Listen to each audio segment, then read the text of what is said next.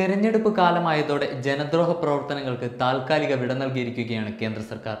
കർണാടക തെരഞ്ഞെടുപ്പിൽ തോൽക്കുമെന്ന സൂചനകൾ വന്നതോടെ എണ്ണവില വർധന താൽക്കാലം വേണ്ടെന്ന് കേന്ദ്ര സർക്കാർ തീരുമാനിച്ചു. ജനരോക്ഷം വരാനിരിക്കുന്ന ലോക്സഭാ തെരഞ്ഞെടുപ്പിനെയും ബാധിക്കുമെന്ന ഭയം ബി ജെ പി ക്യാമ്പിനുണ്ടെന്നാണ് ഇതോടെ വ്യക്തമാകുന്നത്. വേണമെങ്കിൽ ജനങ്ങളെ ബുദ്ധിമുട്ടിക്കാതിരിക്കാൻ കേന്ദ്രത്തിന് സാധിക്കുമല്ലോ എന്നാണ് ഇപ്പോൾ ജനങ്ങൾ ചോദിക്കുന്നത്. ആഗോള വിപണിയിലെ വില വ്യത്യാസത്തിനനുസരിച്ച് എണ്ണ കമ്പനികൾക്ക് വില നിർണയിക്കാനുള്ള അധികാരം താൽക്കാലികമായി റദ്ദാക്കിയിരിക്കുകയാണ് കേന്ദ്ര സർക്കാർ. ആഗോള വിപണിയിൽ എണ്ണവില ഉയർന്നിട്ടും കഴിഞ്ഞ ആറ് ദിവസമായി രാജ്യത്തെ ഇന്ധനവില ഉയർത്താതെ വന്നതോടെയാണ് ഇക്കാര്യം പുറത്തു വന്നത്. വില കൂട്ടരുതെന്ന് സർക്കാർ എണ്ണ കമ്പനികൾക്ക് നിർദ്ദേശം നൽകിയിട്ടുണ്ടെന്ന റിപ്പോർട്ടുകളും എത്തി കർണാടക നിയമസഭാ തെരഞ്ഞെടുപ്പിൽ ബി ജെ പി തോൽക്കാൻ സാധ്യതയുണ്ടെന്നാണ് വിവിധ മാധ്യമങ്ങളുടെ സർവേ റിപ്പോർട്ട് പറയുന്നത്. ഇതുണ്ടായാൽ ബി ജെ പിയുടെ മുന്നേറ്റത്തിന് ഇത് കനത്ത തിരിച്ചടിയാവും.